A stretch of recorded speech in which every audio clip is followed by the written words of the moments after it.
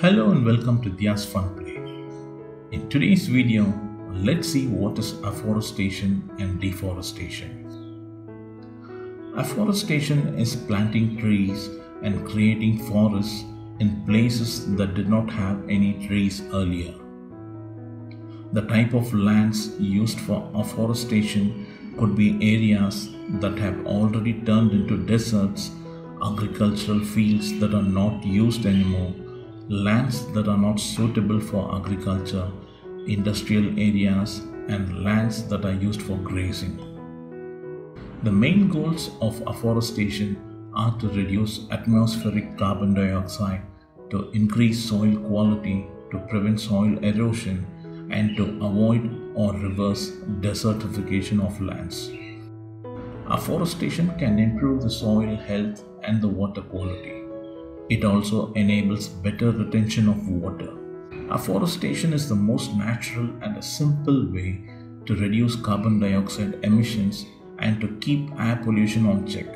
Afforestation can create a natural and a sustainable environment and help local wildlife thrive in that area. Now, let's see what is deforestation. Deforestation is the removal of forests or a group of trees purposefully by humans. Deforestation has many detrimental effects on our environment. The main causes of deforestation are agricultural crop production, raising animals and the need for grazing fields, timber logging and mining, urbanization, infrastructure expansion, and climate change. Climate change is considered one of the leading causes of deforestation. Extreme wildfires have burnt around 95 million hectares of forests in the past 20 years. The intensity of deforestation is only increasing day by day due to global warming. There are many ways to reduce deforestation. Think about smart agricultural farming systems like integrated farming, hydroponics, etc. Plant as many trees as you can. Reduce the use of paper. Students can use a small cost effective LCD writing tablet instead of a paper notebook for their rough works. Paper and cardboard should be recycled and reused again and again.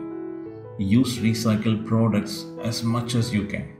Buy only certified and sustainable wood products. Avoid palm oil and products that contain palm oil.